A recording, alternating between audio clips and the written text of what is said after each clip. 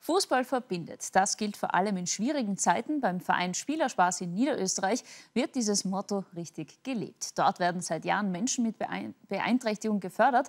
Und gerade jetzt in der Corona-Zeit haben so viele ganz spielerisch zusammengefunden. Hier hat alles begonnen, im Waldviertel in Niederösterreich. Wir sind heute hier in Schwarzenau.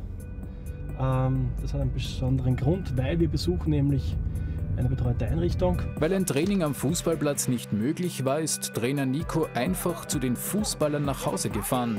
Das war der Start für das Projekt der Heimkicker. Und jetzt ein halbes Jahr später gibt es diese Trainings an mittlerweile vielen Orten. Ja, das Projekt hat sich in fünf Bundesländer ausgeweitet. Ähm, es sind über 20 betreute Wohngemeinschaften dazugekommen, ähm, über 100 Spieler wurden wöchentlich trainiert oder werden auch weiterhin wöchentlich trainiert. Mit vollem Einsatz direkt vor der Haustüre. Mir gefällt das da. Man müsste das wie öfter auch machen und so. Es ist super.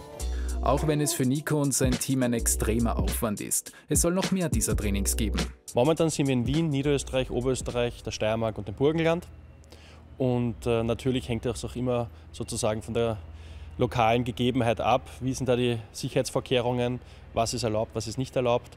Aber im Grunde genommen läuft das Projekt sehr gut. Mittlerweile ist auch Ex-Nationalteamspielerin Nina Burger als Trainerin dabei. Eine extra Motivation für die Spielerinnen und Spieler. Vor einem halben Jahr hat es hier im Waldviertel begonnen. Mittlerweile sind es viele, die daheim kicken. Fußball verbindet eben. Perfekt!